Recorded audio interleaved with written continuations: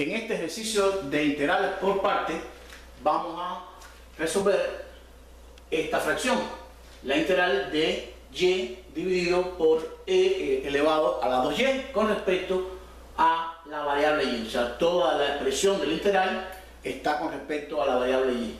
Se puede usar con variable y, variable x, variable z. La variable no, no determina, lo que determina es con respecto a la variable que se va a integrar. En este caso, todo está con respecto a y. Tengo una división donde aparece la variable y, que es una función, en este caso algebraica, y en el denominador una función que es una función exponencial. Ante todo vamos entonces primeramente a organizar esta expresión. Vamos a llevarlo a una forma de producto. ¿Por qué a forma de producto si está en forma de división? Porque precisamente recordamos que la fórmula de la integración por parte aparece multiplicado U por DV, o sea, en forma de producto, no en forma de cociente. Entonces, si queremos aplicar esta regla, esta, esta definición, como quiera llamarse, o esta propiedad, queremos entonces transformarla en forma de un producto para que nos quede indicada la forma que está aquí. Por lo tanto, vamos a transformar la integral en un producto. Me quedaría y por y e a las 2y, recuerden que se puede subir esta fracción como exponente negativo, e a la menos 2y. Ya tenemos en forma de producto la expresión del integral. O sea, el radicando en forma de producto. Y que multiplica a e a la menos 2y.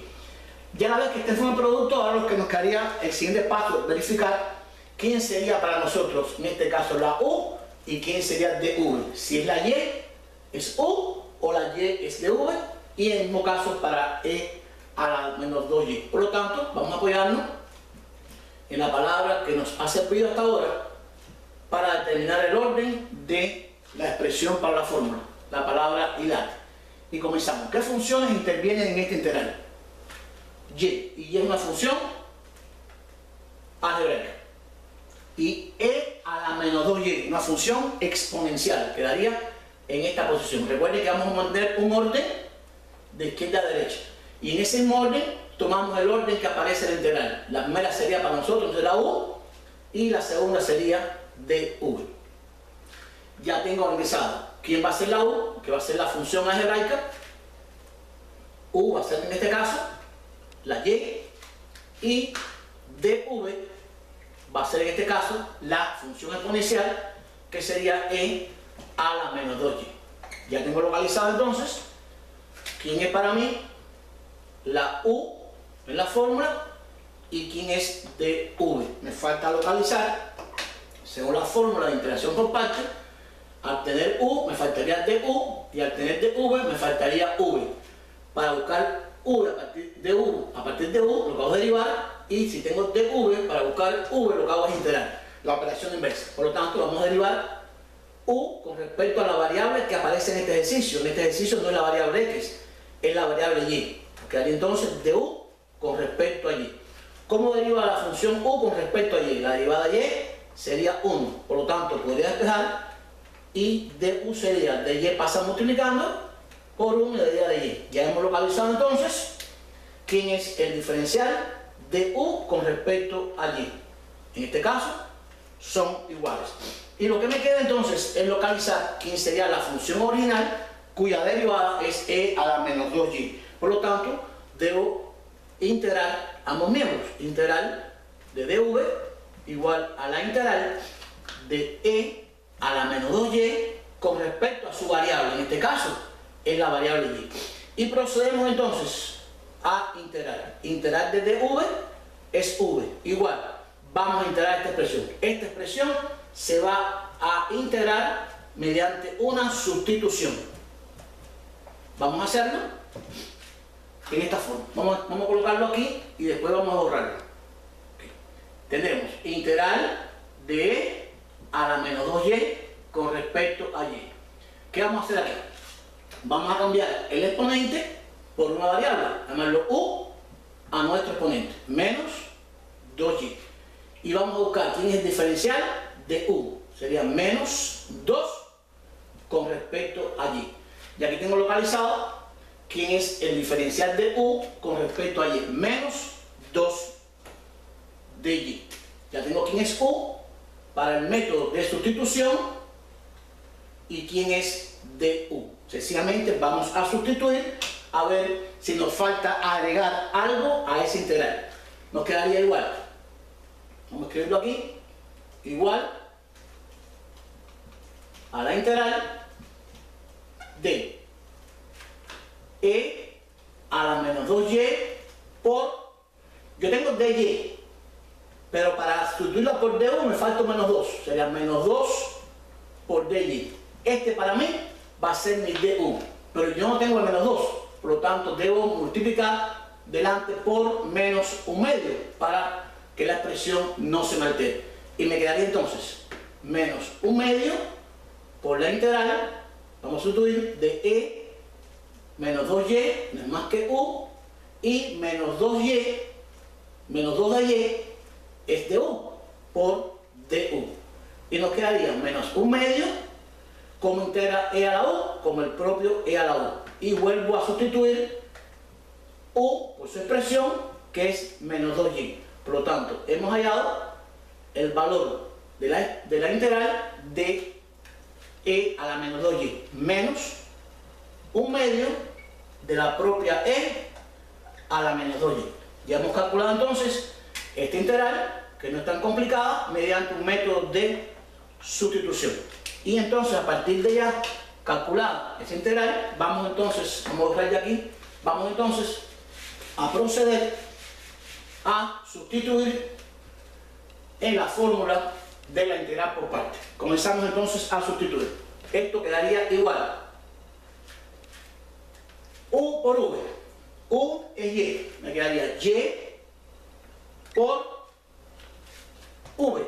Y V lo hemos integrado como menos un medio por E a la menos 2Y. Menos la integral que aparece en la fórmula, que sería V, que es menos un medio por E a la menos 2Y por DU pero du no es más que dy. Por lo tanto, ya hemos enterado, la primera parte nos queda resolver esta integral que va a ser muy sencilla ya. Se nos quedaría, vamos a organizar esto, nos quedaría y por 1 me daría y, el 2 quedaría en el denominador y e a la menos 2y vamos a bajarlo como 2 a la y, como hicimos al principio, que lo subimos con el poder negativo. Aquí vamos a escribirlo en el denominador.